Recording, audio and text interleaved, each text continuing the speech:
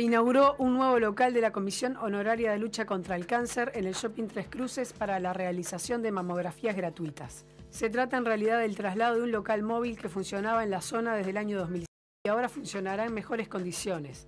A su vez, el próximo 29 de marzo se realizará una nueva edición de la 5K contra el cáncer de mama en las canteras del Parque Rodó. Les proponemos en la mañana repasar la importancia de la realización de las mamografías y dar detalles del evento que se viene.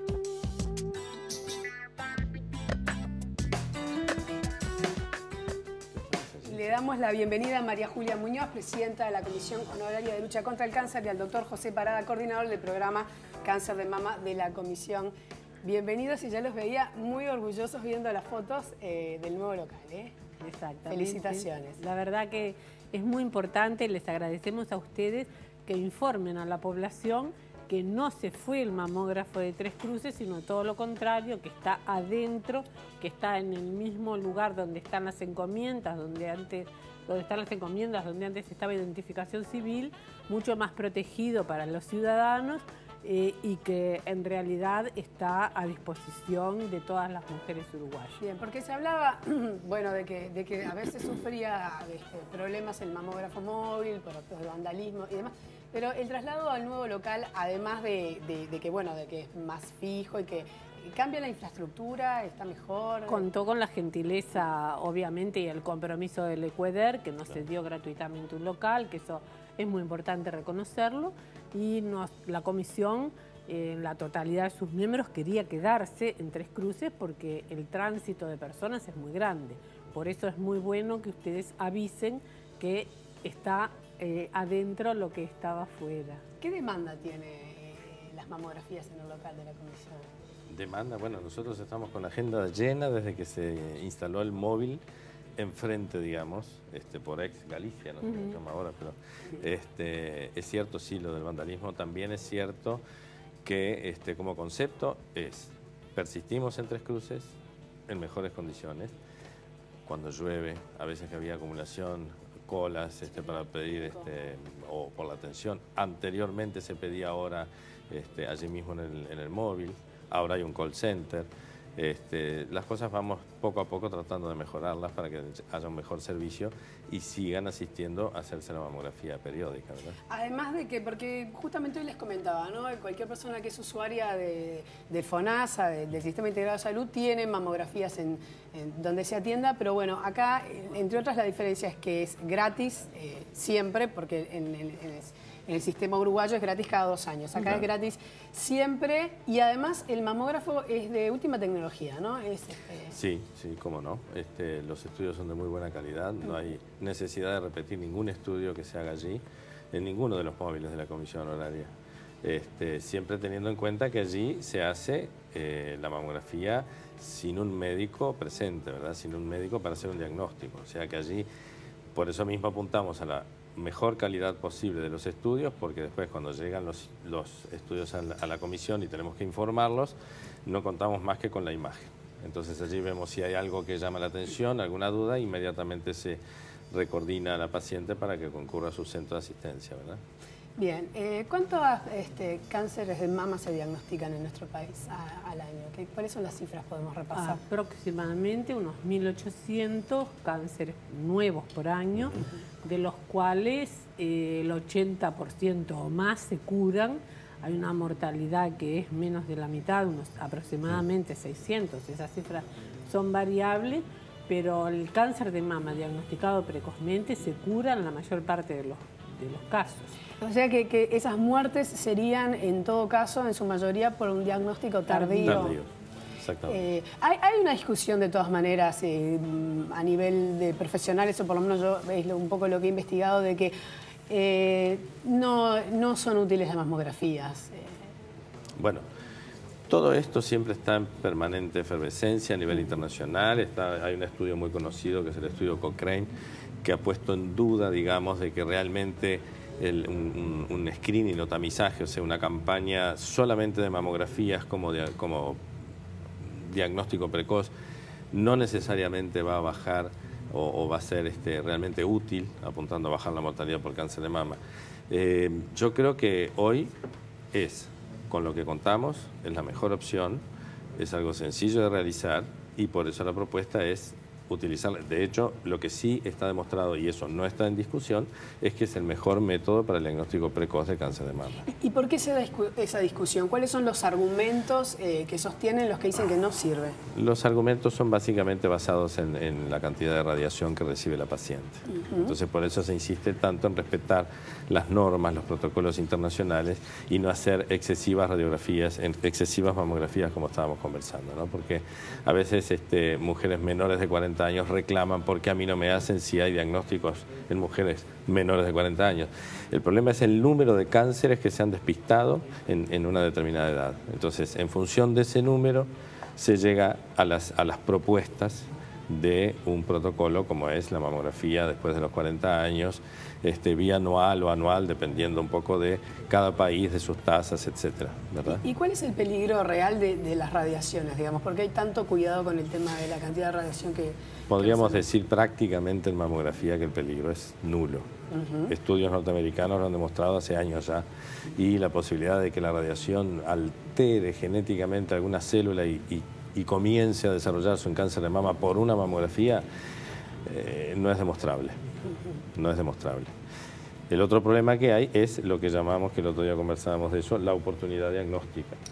Cuando nosotros hacemos la mamografía, esto es, un poco delicado porque yo no quiero que nadie se asuste, ¿no? Pero cuando la mujer concurre a hacerse la mamografía, podría tener un pequeño cáncer que no esté visible aún a la mamografía. Y de repente 10 meses después de la mamografía aparece y entonces, ¿cómo? ¿Y no se vio? Y puede no verse. Puede no verse nada, realmente nada. Absolutamente. muy chiquito. Por eso que también decimos es muy importante el autoexamen de mama. El autoexamen de mama y el conocimiento de todo el cuerpo, porque de la misma manera que decimos el autoexamen de mama, también el conocimiento de una mancha, si cambia de color, si cambia de consistencia. Hay que conocerse para poder cuidarse. Y bueno, y hay además factores, sobre todo en mujeres postmenopáusicas como la obesidad, que también coadyuvan en el cáncer de mama, que tampoco está estrictamente demostrado, pero sí es un factor de riesgo también para otras enfermedades y es bueno que después de la menopausia ejercicio físico, alimentación saludable y no ser obesa. Este, hay muchos factores que todavía eh, están en estudio y en realidad lo de la radiación, el doctor este, creo que es sumamente competente en el diagnóstico por la mamografía y como dice hay algunos que son extremadamente pequeños y en el intervalo entre una mamografía y otra puede aparecer.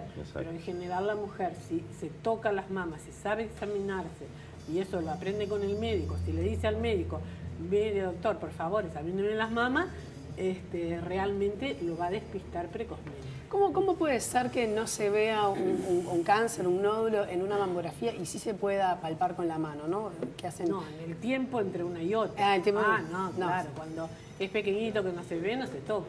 Pero eso, eso, eso que dijo también es posible. Sobre todo en las mamas muy fibrosas. la mama está compuesta por, básicamente, ¿no? Este, por grasa y fibra. Cuando la fibra es mucho más importante que la grasa, se rompe un poco el equilibrio. Nosotros, desde el punto de vista de la imagen, necesitamos, hablando de mama, para hacer el diagnóstico, capaz que preferimos las gorditas que las flacas. Porque en realidad la mujer que tiene, este, que se cuida del, exceso de peso va a tener mamas más fibrosas y esas son las que van a ser complementadas con ecografía. Porque puede suceder que se toque y no se vea la mamografía por la radiodensidad de ese tejido. ¿verdad? Bien. Em, otra discusión que también he escuchado por ahí tiene que ver con las mujeres que se han hecho este, prótesis mamarias. Mm. Eh, eh, hay quienes sostienen que, bueno, que, la prótesis incluso hasta ayuda a que la temperatura de la mama sea bueno, menor, entonces eso eh, incide en menor cánceres de mama, y otros que dicen, bueno, no, incluso es más peligroso porque no se detecta en las mamografías bien, ¿no?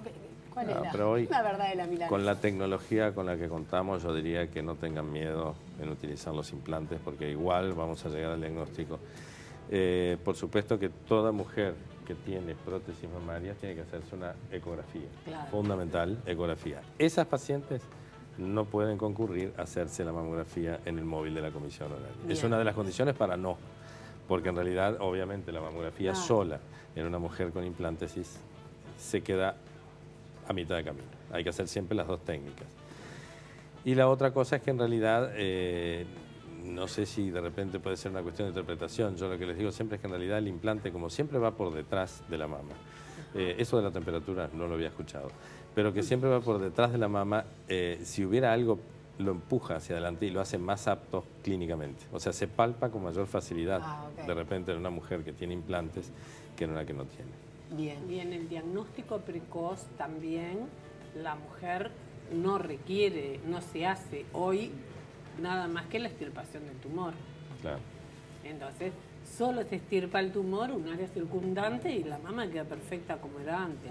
No es necesario tampoco la extirpación de la mama como se hacía antiguamente. Sí, no es común. Igual Eso es sucede. excepcional. Ah, claro que sí, claro Sí, que sí. Hay determinados tipos Sí, histológicos de claro. tumores que Sí, por sí. más que no sean muy extendidos hay que hacer una mastectomía, Claro. porque ya sabemos que son agresivos, etcétera. Pero es, es, es la menor cantidad de casos. Lo mismo que, el- que- que el cáncer en la mujer antes de la menopausia. Digamos, el 80% de los cánceres son de la posmenopausia, por suerte.